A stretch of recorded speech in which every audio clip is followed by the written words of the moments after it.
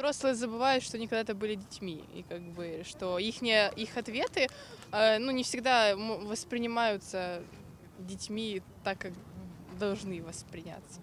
Это Юля и Валя. Им 16 лет. Они учатся в 10 классе обычной киевской школы. Ну, Год назад к ним на урок пришла неё. психолог и попросила написать вопрос, на который они бы хотели получить ответ от взрослых. Говорили, что это будет анонимный опрос, но все равно у меня почему-то было такое чувство, что будет над этим стебаться. Ну, типа, ага, девочка что-то написала, какую-то хрень. Я боялась, что могут узнать почерк. Ну, Ну да, да, да, Нас да. знают, и поэтому может кто-то узнать почерк. За год девочки уже и забыли про опрос. А зря. Из их вопросов, а еще вопросов сотен детей из Украины, России и Беларуси, появилась книга «Территория правды». Отвечают на вопросы 60 экспертов из разных областей, от священников до ученых и журналистов. Авторы проекта Татьяна Рибер и Татьяна Мерщий. Мне бы хотелось, когда я вот вступала в этот проект, когда хотела написать эту книгу, когда писала ее, создавали команду мы с Таней, нам хотелось, чтобы дети как можно больше получили ответов на свои вопросы. Какой вы ответ ожидали? Ну, такой сухой взрослый ответ, типа, бейби, бейби, ну, что-то такое. Да, не знаю, я почему-то думала, что... Ну, то есть я задала вопрос только потому, что я не нашла ничего в интернете. И не нашла, ну, не находила, не нашла, вот, поэтому я и задала его. В интернете всегда тоже вот пишут как раз таки э, Бейби, бейби. либо что-то очень экстремальное. Книга начинается с вопросов, которые могли бы задавать и взрослые. В чем смысл жизни, как стать уверенной в себе и почему мои мечты не сбываются. Школьники интересуются всем. Как понравится кому-то, когда можно заниматься сексом и почему от любви так больно. А еще удивляются, почему взрослые такие скучные. Задают вопросы дети от 9 до 17 лет. Школьный психолог Ирина Горбатюк говорит, детей в любом возрасте интересует примерно одно и то же. Как стать самым крутым и умным? Как изменить мир в лучшую сторону? Кем легче быть, взрослым или ребенком? Почему все боятся умереть? Был вопрос, откуда берутся дети. Я, конечно, знаю, откуда они берутся, это было в скобочках, но мне интересна ваша версия. А еще детей интересовал вопрос войны в Украине. Чаще всего он звучал так «Почему люди воюют?» И никто не называл конфликт на востоке Украины АТО. Татьяна Рибер говорит, что такие вопросы дети задавали вне зависимости от страны проживания. Подростков из Беларуси, России и Украины волнует примерно одно и то же. Для меня это было, понимаете, не политизированный момент. Звучал вопрос, один из них есть теракты, например. То есть это вовсе не связано с военными действиями в трех странах.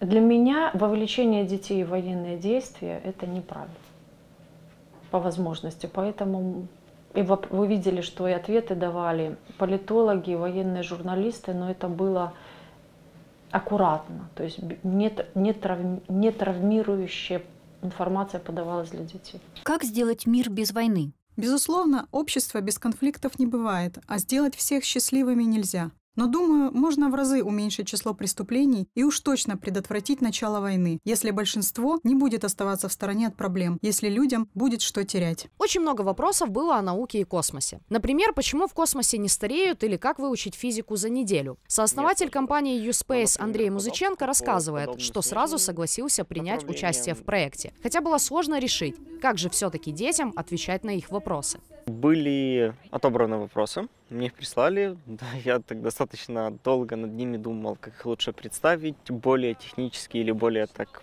по-детски проще. И все же было решено, что самый такой простой вариант э, стал самым лучшим. Мелким шрифтом на книге обозначено, что родителям вход воспрещен. Татьяна Рибер признается, что это написано больше для интриги, потому что книга одинаково нужна как подросткам, так и родителям. Встречала я детей в школе, когда стою с книжкой, с кем-то из преподавателей разговаривала. Ко мне девочка подошла, она была в шестом классе, и говорит, ой, здравствуйте, а вы видите, что здесь написано, родителям вход воспрещен? А моя мама читает, а ей нельзя. На самом деле книга и для родителей, и для детей. Нам, взрослым, иногда, родителям, не хватает информации, чтобы правильно донести, ну, то, что я говорила, из различных областей. А детям не хватает информации или они не знают кому. То есть на самом деле она и для тех, и для тех. Второе дело – это показать детям, что ваши проблемы, ваши вопросы нам не безразличны. Э, Что, потому что вот э, тоже были у меня в каких-то классах такие, я уже не помню, там, честно говоря, в каком классе, но э, были ученики, которые, а, Там, если это непонятно что, непонятно когда, это так, в общем-то, чисто для галочки. Поэтому я уже и говорила, что я очень рада, что я могу прийти вот с конечным результатом, деткам показать и э, показать, что да, о вас заботятся. Все э, ответы ну, на вопросы более актуальны для детей вот от 12 до 15. Потому что именно в то время мне было действительно э, интересно, и я, ну, меня, я нуждалась в этих э, ответах. А сейчас я, в принципе, нашла уже ответы на эти вопросы. Ну нет, жизнь. Жизнь. Опыт. Юля и Валя книгу прочитали, и она им понравилась. Хотя говорят, что сейчас из нее уже немного выросли. Поэтому ждут книгу для более старшего возраста. Ведь вопросов ко взрослым осталось много.